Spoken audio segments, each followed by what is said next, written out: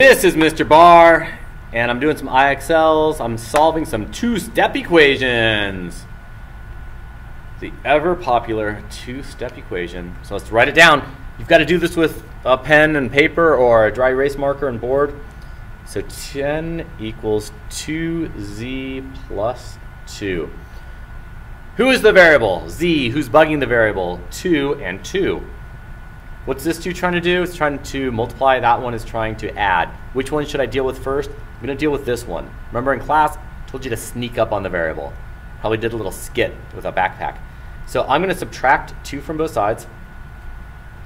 And that's going to give me 8 equals 2 times z. And now I'm going to divide both sides by 2. That's going to give me a 4. So z equals 4. What does it mean to be a solution? It means that if you plug it in, it will work. So let's plug it in. 2 times z. 2 times 4 is 8, plus 2 is 10. It equals 10. It worked. The answer is 4. Well done. 5 equals 2v minus 3. I would like to add 3 to both sides. That's going to give me 8 equals 2v. I would like to divide both sides by 2, so v equals 4.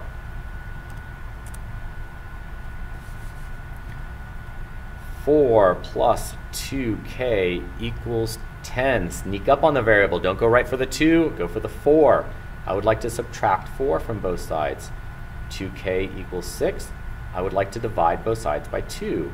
k equals 3. 3w plus 1 equals 10. I would like to subtract 1 from both sides. 3w equals 9. I would like to divide both sides by 3. W equals 3. 2 plus 2b equals 10. I would like to subtract 2 from both sides. So 2b equals 8. I would like to divide both sides by 2. So b equals 4. 16 equals 4w plus 8. I would like to subtract 8 from both sides. I would like to divide both sides by 4.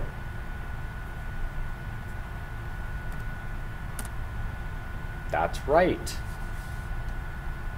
All right, good. I like this one. P over 4 plus negative 10 equals negative 8. I would like to add 10 to both sides. So now I have p over 4 equals 2. Now I'd like to multiply both sides by 4. p equals 8. Let's see, what does it mean to be a solution? If I plug it in, it will work. Let's plug it in. 8 divided by 4 is 2, minus 10 is negative 8. It worked.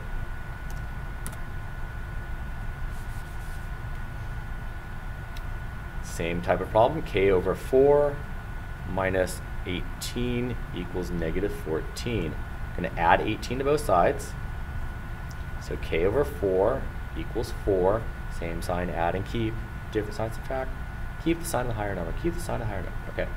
And now I'm going to multiply both sides by 4. So k equals 16.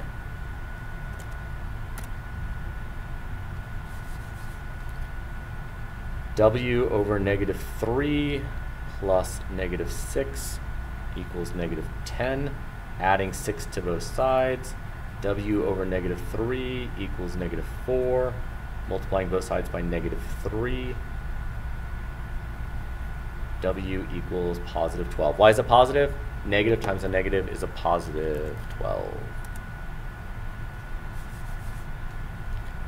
q over 4 minus 3 equals 1, adding 3 to both sides. q over 4 equals 4. Hitting both sides with a 4 takes me to a 16. That's good. I can do this one a little bit quicker. It's negative 4, negative 2. I'm just basically right now I'm looking for something to happen up in the higher numbers. It's going to be a negative 4, negative 2, that's a positive 2. 7 times 8 what's that 56 minus 14 56 46 42 now I'm ah 42 plus 14 is 56 divided by 7 is 8. Good. Okay, what is that? That is 42. 42 takes me to 32, takes me to 27. 27, is that right?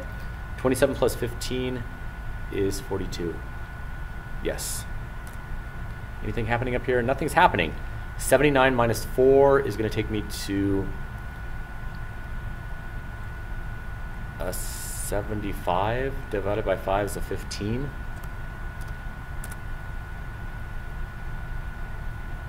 Hmm. I did not expect this one to come up. Okay, let's do it though. Uh, some distribution here. So 54 equals negative 6 times y plus negative 6. Okay, so I'm going to distribute this.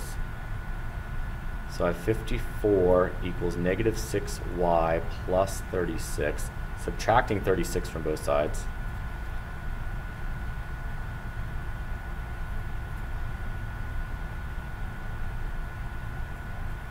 Dividing both sides by negative 6, that's going to take me to a negative 3.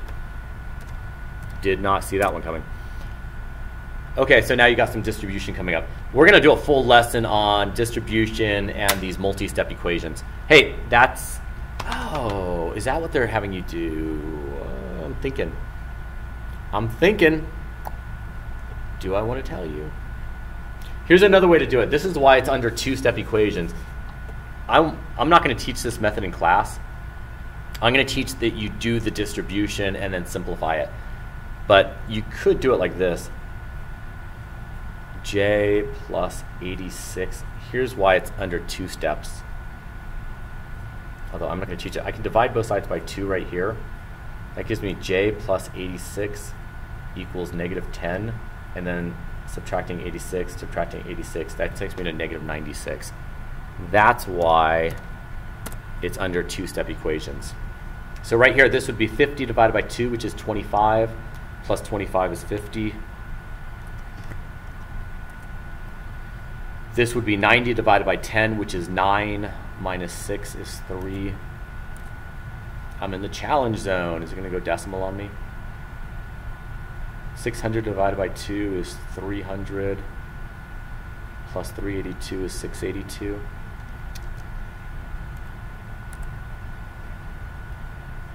You see the boom boom there? 15n plus 25. So I'm going to subtract 25 from both sides. So that's going to be 900 and what's that, like 60? 960 divided by 15.